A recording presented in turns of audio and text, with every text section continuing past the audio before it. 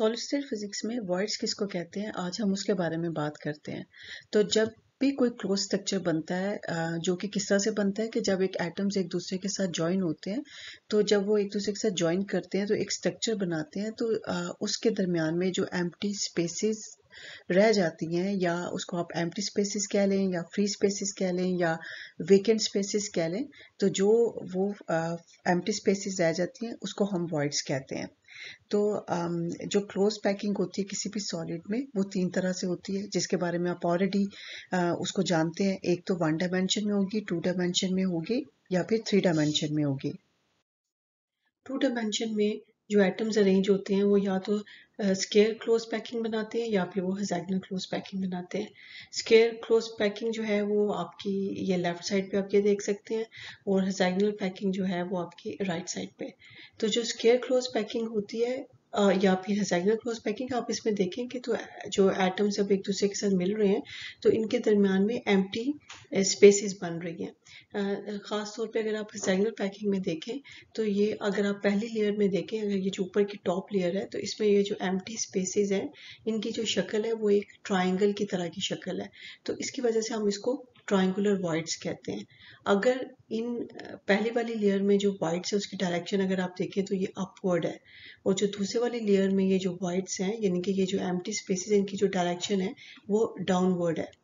तो इसको हम ये कहेंगे कि पहली एक रो में जो उसका एपेक्स है, वो अपवर्ड डायरेक्शन में है और दूसरी रो में उसकी जो एपेक्स है, वो डाउनवर्ड डायरेक्शन में तो इस तरह की जो आप कह लो कि वाइड्स उसको हम ट्राइंगुलर वाइड्स कहेंगे इन टू डायमेंशन जब हम थ्री डायमेंशन में पैकिंग देखते हैं तो वो जो स्ट्रक्चर बनता है, वो एफसीसी या एचसीपी क्लोज पैक स्ट्रक्चर्स बनते हैं और इसकी हम कैलकुलेशन कर चुके हैं कि जो क्लोज पैक स्ट्रक्चर जब बनते हैं एफसीसी या एचसीपी का तो उसमें जो फ्री स्पेस होती है वो 26 परसेंट होती है। तो ये जो फ्री स्पेस है या ये वेकेंट स्पेस है, इसको हम कहेंगे इंटरस्टिशियल वॉइड्स जब हम थ्री में उसकी बात करते हैं। इंटरस्टिशियल वर्ड्स को जब हम थ्री में देखते हैं तो उसके दो टाइप्स हैं, एक है टेट्राहेड्रल वर्ड्स और एक है ऑक्टाहेड्रल वर्ड्स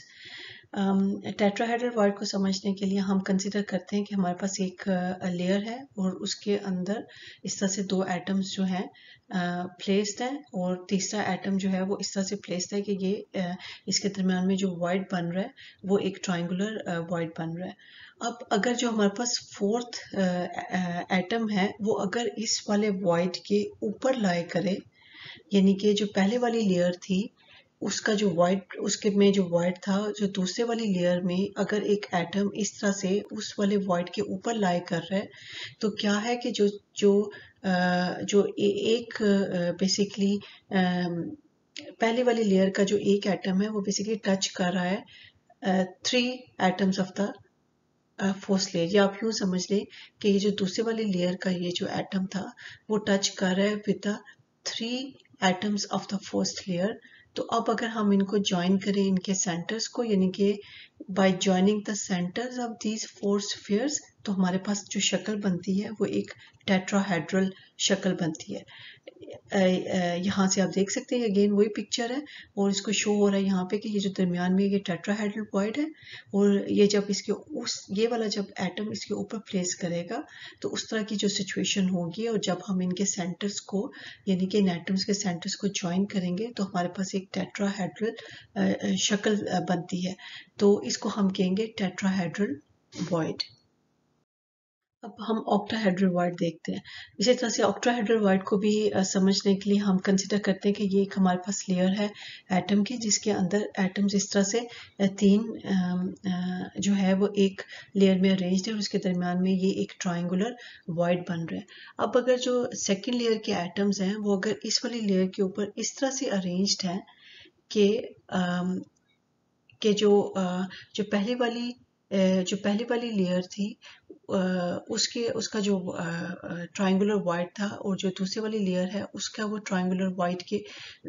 ऊपर लाई कर रहा है, यानी कि जो ट्रायंगुलर वाइट है, पहली लेयर का वो ज्वाइन कर रहा है with the triangular void of the second layer जो कि उसके ऊपर है या जो उसके बिलो है। तो इस तरह का जो वाइट बनता है वो बेसिकली इनक्लोज होगा by six atoms six atom से क्लोज हो रहा है तो जो वेकेंट स्पेसिस बन रही हैं by combining the triangular void of the first layer and that of the second layer वो, उसको हम कहेंगे ऑक्टोहेड्रल वाइड जब हम उन्हें कंबाइन करें तो इस तरह की शक्ल बनेगी। तो ये ऑक्टोहेड्रल शक्ल है, इस वजह से हम इसे कहेंगे it's it's an octahedral void तो जो नंबर ऑफ़ आप यूँ कह लें कि जो नंबर ऑफ़ ऑक्टोहेड्रल वाइड्स बनेंगे